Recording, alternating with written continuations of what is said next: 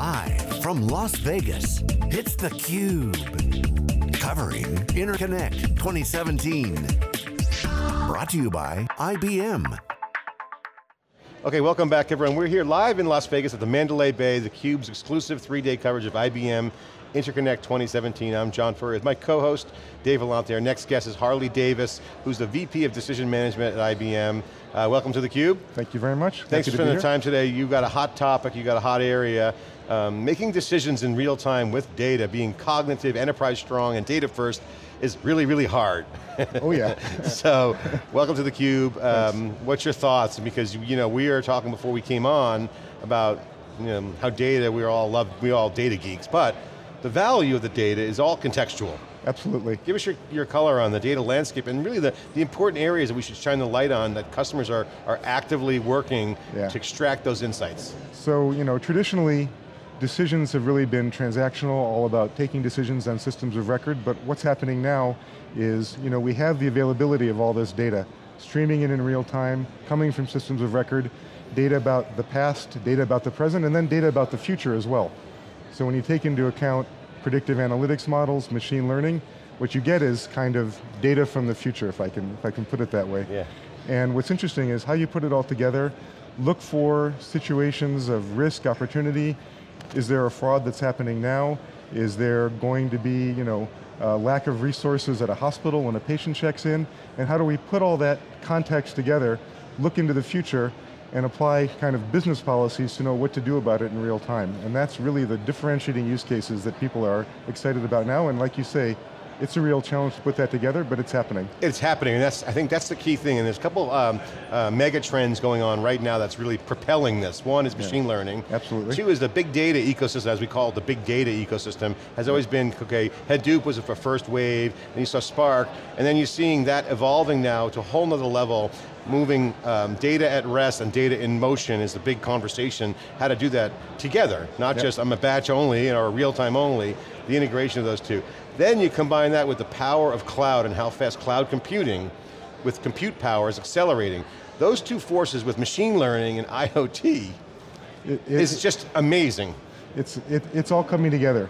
And what's interesting is you know, how you bridge, how you bridge the gap, how you bring it all together, how you create a single system that manages in real time all this information coming in, how you store it, how you look at you know, history of events, uh, systems of record, and then apply, apply situation detection to it to generate events in real time. So you know, one of the things that we've been working on in the decision management lab is a system called Decision Server Insights, which is a big real-time platform. You send a stream of events in, it gets information from systems of records, you insert analytics, predictive analytics, machine learning models into it, and then you write a series of like situation detection rules that look at all that information and can say, right now, this is what's happening, I link it in with what's likely to happen in the future. For example, I can say, my predictive analytics model says based on this data executed right now, this customer, this transaction is likely to, 90% likely to be a fraud. Then I can take all the customer information, I can apply my rule, and I can apply my business policy to say, well, what do I do about that? Do I let it go through yeah. anyway, because it's okay? Do I reject it? Do I send it to a human analyst? We got to put all that together. So, that use case that you just described is something that's yeah. happening today. That that's is sort of state today. of the art today. Now, so one of the challenges today, and we all know fraud's gotten fraud detection has got much much better in the last several Absolutely. years. Used to take, if you ever found it, it would take six months, right? And yeah. it's too late. But a lot of still a lot of false positives that will negate a transaction. Is now that's a business rule decision, right? But are we at the point where even that's going to get better and better and better? Well, absolutely. Um, I mean, the whole, the whole, there have been two main ways to do fraud detection in the past. The first one is kind of long scale predictive analytics that you train every few months and requires, you know, lots and lots of history of data, but you don't get new use cases that come up in real time. Like you don't have the Ukrainian hacker who decides, you know, if I if I do a payment from this one website, then I can uh, I can grab a bunch of money right now. And then you, you have the other alternative, which is having a bunch of human analysts who look for cases like that guy yeah. and put it in as business rules. And what's interesting is to combine the two, to retrain the models in real time, and still apply the, the, the knowledge that the human analyst can get in real time. And that's happening every day in lots of companies now. And that idea of combining transactional data and analytics, um, you know, has become popularized, popularized over the last couple of years. One obvious use case there is ad tech, right? Making offers to people, mm -hmm. uh, marketing. What's the state of sort of that use case? Well, let's look at it from the positive perspective.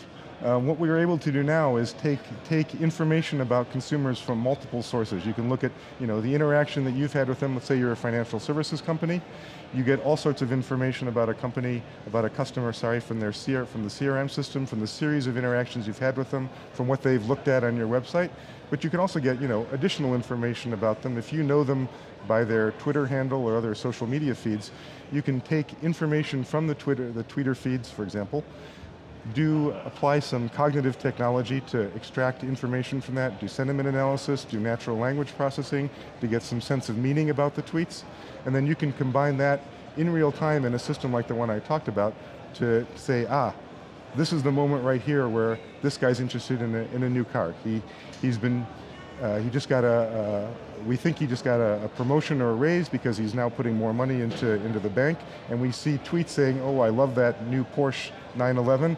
I uh, can't wait to go look at it in the showroom. If we can put those things together in real time, why not send him a proactive uh, offer for, for a loan in a new car or put him in touch with a dealer. No, and sometimes as a consumer, I, I, want that. You know, when I'm looking for, say, scarce tickets to a show or a, or a, or a playoff game or something, and I want the best offer, and I'm going to five or six different websites, somebody were to make me an offer, hey, here are better seats for a lower price, I would be thrilled. So uh, ge geographic information is interesting too from that. So let's say, for example, that you're, you're traveling to, uh, to Napa Valley, and let's say that we can detect that you just, uh, you know, took out some money from, uh, from a bank, uh, from your ATM in, in Napa. Now we know you're in Napa. Now we know that you're a good customer of the bank, and we have a deal with a tour operator, a wine tour operator. So let's spontaneously propose a, uh, a, wine tour to you, give you a discount on that to keep you a, a good customer. Yeah, so relevant offers like that, uh, as a consumer, I'd be very interested in. All too often, at least lately, I feel like we're in the first and second innings right. of, of that type of you know, uh, system, where many of the offers that you get are just, wow, okay, for, for three weeks after I buy the dishwasher, I'm getting dishwasher ads. But it's getting better, you can sort of see it and, and you, feel you it. You can see it getting a little better. Um, I think this is where the combination with the combination of all these technologies with machine learning and predictive analytics really comes to the fore and where you know the new tools that we have available to data scientists, things like you know the data science the data scientist experience that IBM offers and other tools can help you produce a lot more segmented and targeted analytics models that can be combined with all the other information so that when you see that ad you say, oh, the bank really understands me. Harley, one of the things that people are, are work, working on right now, and most customers, your customers and, and potential customers that we talk to, um, is I got the insights coming and I'm working on that, we're going pedaling as fast as we can, but I need actionable insight. This is the decision making thing. So decisions are now what people want to do.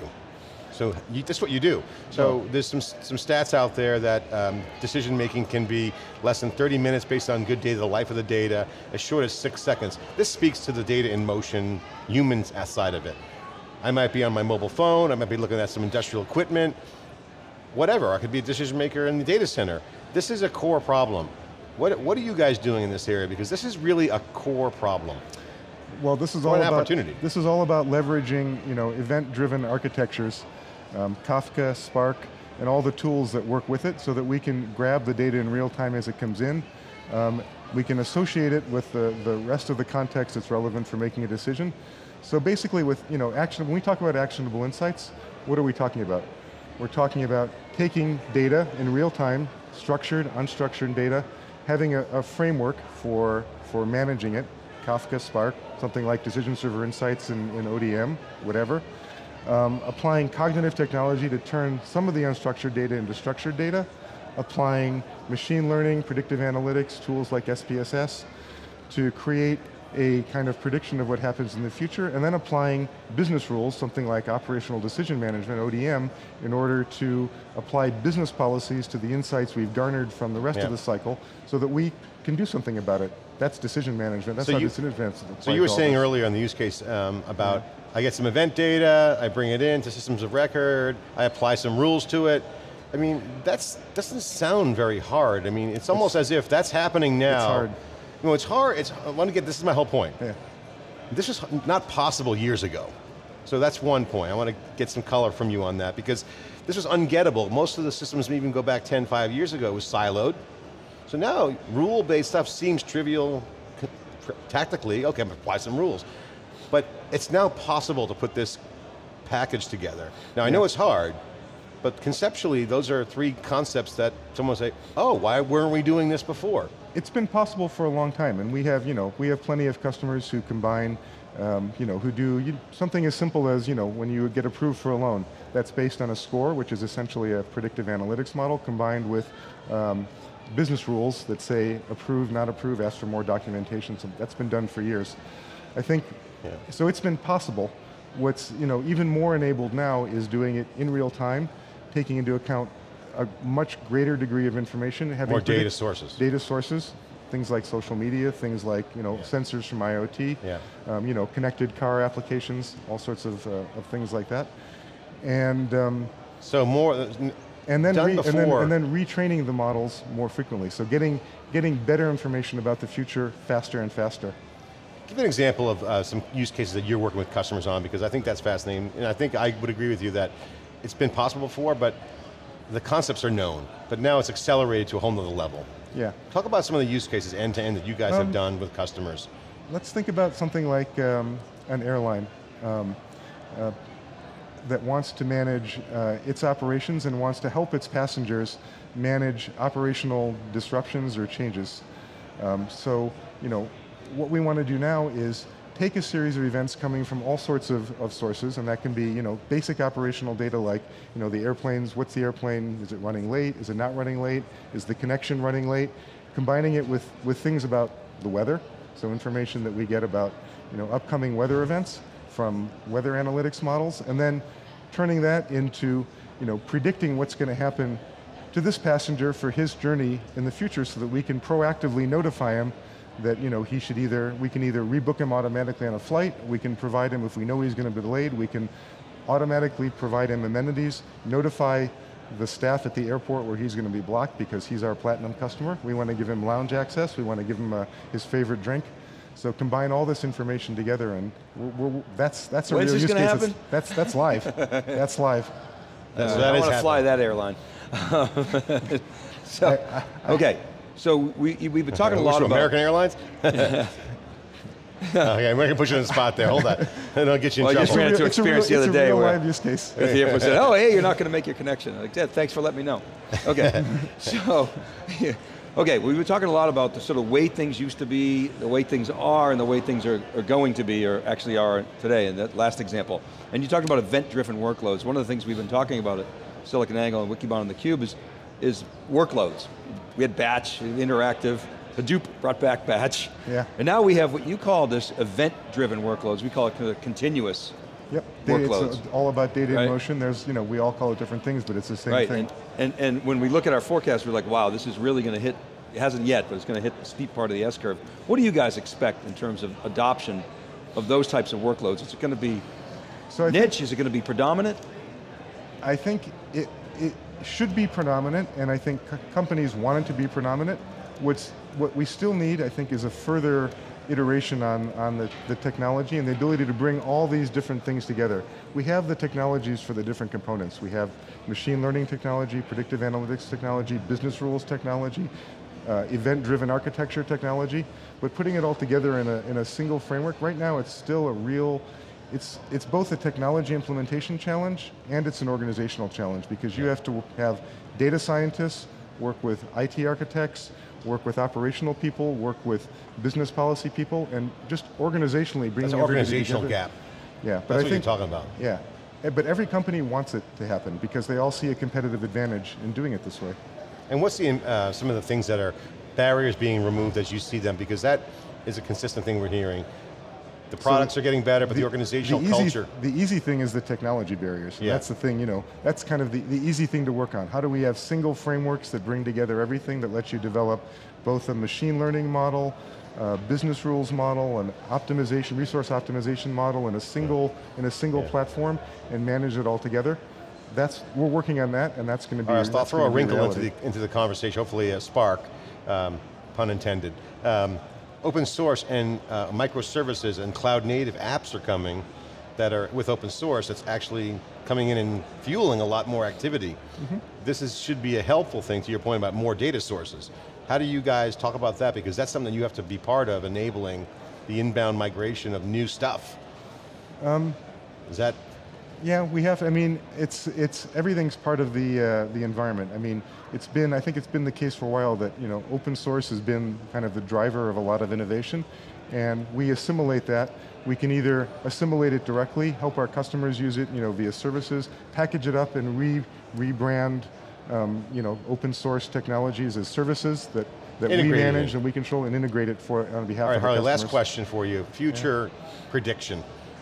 That's five years out. What, what's going to happen in your mind's eye? I mean, not we're not going to hold you, I mean IBM to this, you personally. Thank You. you. know, just, just as you can see some of the stuff unfolding, because machine learning, we're expecting that to crank things up pretty quickly. Uh, we're seeing cognitive and cognitive to the core really rocking and rolling here. So what's your, how do you see the five, next five years playing out for decision making? First thing is, I don't see Skynet ever happening.